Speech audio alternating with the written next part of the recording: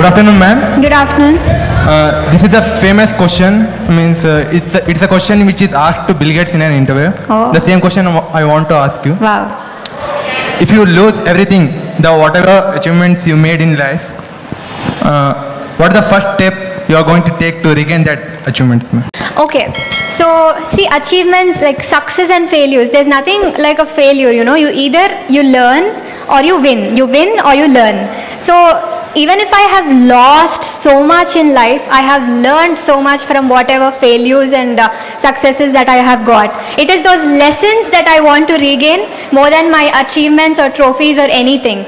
And in life, it's it's not definitely about achievements there are so many people who have much less than what you have okay only when you lose something do you know the importance of losing it's about being happy with whatever you have. I would not do anything to regain those. I would make myself ready for the next ones. Thank you, ma'am. thank you. Madam, uh, when you were a child, what kind of particular aim you had? Okay, I always wanted to be in service, like being a doctor was uh, was definitely my um, uh, childhood dream because uh, I was someone who was like I don't know at that age I somehow liked Mother Teresa and I, I used to read about a lot of eminent personalities, be it APJ Abdul Kalam sir, be it Sachin Tendulkar. I used to be inspired by those huge trophies that they got. I also wanted that at some point of stage, but I didn't know how to go about. I wanted to be like them, but I don't know which path to take and what to become. So all I did was just utilizing the opportunities which the world has given me and uh, just moving about with a disciplined life every day. That was my thing. Uh, right from my childhood, I always wa- uh, woke up early in the morning. My discipline is what made me stand today. And uh, who motivated you, madam, uh, on that time? Uh, my mom. So my mom is someone um, who actually, you know, she worked in US for like two years and then she gave up her job and then she came back for me. So right from my eighth standard, like she's completely given up on her every on her dreams just to fulfill my dreams. Without her, I am just nothing. Who is your inspiration? my inspiration, as I said, uh, it's Dr. APJ Abdul Kalam sir because. Uh, it's he who inspired me to be going to, to uh, all the colleges and schools and inspiring the youth. He used to do that. And he actually inspired me to be doing what I'm doing right now. Thanks, ma'am.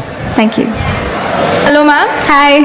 Uh, I would like to ask that didn't you ever get diverted from your goal? From my goal, okay. So um, I think for us, the biggest diversion that we ever can have is our cell phones and our social media. That's the only, di- I mean, that's the biggest diversion I can say. Uh, maybe because I didn't have a phone or a computer till my MBBS third year, it helped me a lot. It helped me not getting diverted. But at this present stage, I think it is a necessity to have it.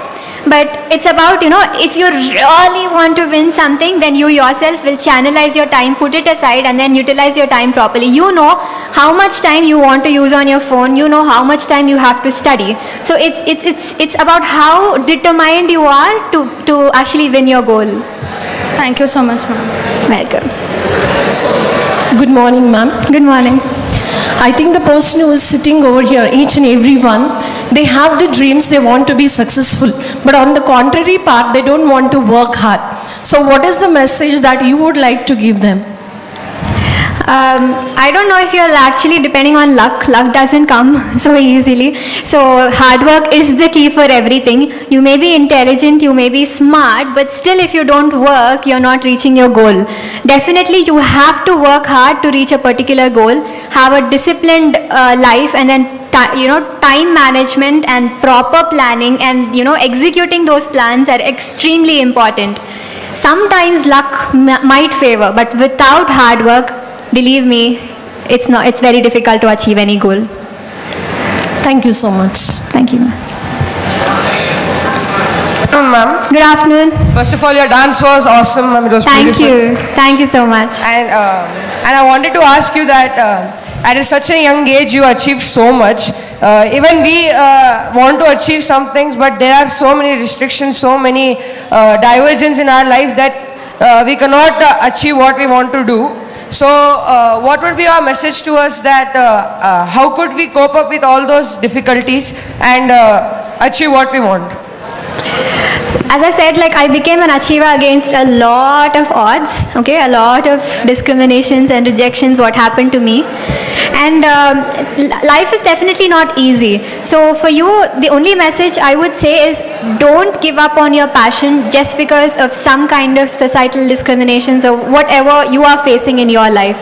Stick to your goals and follow your passion and definitely believe in yourself. One day you will definitely achieve your goal when you're actually doing that disciplined practice every day. Thank you, ma'am. Thank you. Firstly, good afternoon, ma'am. Good afternoon. Have you ever felt sad when a task or the goal is not achieved in life, or have you draw the inspiration in life when you are demotivated? Definitely, because we all are humans, we feel sad. Okay, there are moments that you know, right after uh, not achieving something, you actually feel very sad. But it's about how you wake up again and then rise like a phoenix the next day itself. Okay, so maybe it's it's, it's very human to feel low for a day. But it's about you know thinking that this is not the end. And life gives you many more opportunities that are coming your way. This is definitely not the end of your life. Just have that patience. Let that right time come for you to achieve that right thing. Just have patience. Have belief in yourself and just believe in whoever god that you believe in. And then definitely it's going to come to you someday. Thank you, ma'am.